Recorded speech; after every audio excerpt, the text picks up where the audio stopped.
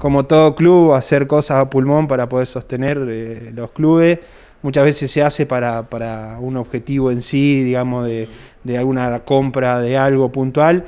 En este momento, igual que el año pasado, para la misma fecha, hicimos locro para el sostenimiento del club.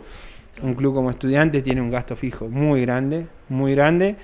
La participación en los entrenamientos funcionales, eh, que no tiene nada que ver con las disciplinas que tiene el club, eh, la, eh, la, concurrencia es poca, porque a los chicos les gusta la disciplina, no el entrenamiento funcional. Entonces eh, se nos hace la parte económica muy cuesta arriba y bueno, tenemos que acudir a estos eventos para, para poder sostener el club, ¿no? Claro.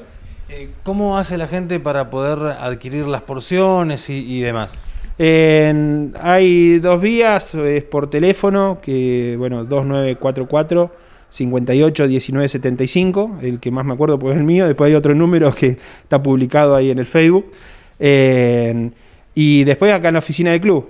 Pero bueno, nos escriben, nos buscan si no en el Facebook del club, ahí está publicado, nos escriben y nosotros vamos donde sea a entregar los tickets, ¿sí? O se acercan acá de 15 a 19 horas, está Mabel en la oficina y, vende las porciones. Y lo tienen que venir a, a, a, buscar, o sea, nosotros le podemos llevar el ticket, pero el día, el 9 de julio, a partir de las 12, venir acá a retirarlo.